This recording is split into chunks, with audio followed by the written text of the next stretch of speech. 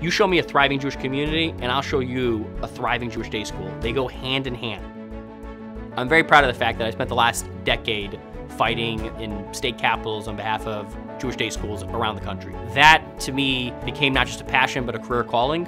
And I wouldn't have been able to do any of that if I didn't have my Jewish day school education that stewarded those ideas of responsibility, of leadership, and of having a vision for what you wanted to do in the world.